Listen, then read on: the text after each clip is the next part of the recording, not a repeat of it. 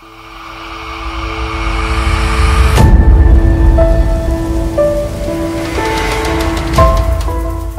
Aslam Nazi मैं हूँ ऐशत सिन आप देख रहे हैं गल्फ पाकिस्तान। ताज़ा तरीन सूरत हाल से आपको आगाह करते चले। पाकिस्तानी रुपए के मुकाबले में डॉलर की कदर में इजाफे का सिलसिला जारी। तफसीत के मुताबिक पाकिस्तानी रुपए के मुकाबले में अमरीकी डॉलर की कदर में इजाफे का सिलसिला जारी है। स्टेट बैंक ऑफ़ पाकिस्तान की जानब से जारी अदादोशुमार के मुताबिक आज इंटर बैंक में डॉलर के भाव में बावन पैसे का इजाफा हुआ है। इंटर बैंक ऑफ़ पाकिस्तान के मुताबिक आज डॉलर का भाव दो सौ इक्यासी रूपए सैतालीस पैसे है। इसके अलावा ओपन मार्केट में डॉलर का भाव पचास पैसे बढ़कर दो सौ तिरासी रूपए है। तफसीत के मुताबिक अक्टूबर में इंटर बैंक में डॉलर छह रूपए सताईस पैसे सस्ता हुआ है। जी तो नाजिन, ये थी ताज़ा तरीन सूरत हाल, जिससे हम आपको आगाह कर रहे थे। मजीद जानने के लिए देखते रहिए गल्फ पाकिस्तान इसी के साथ। अशत सिंह को दीजिए इजाज़त, अल्लाह हाफिज।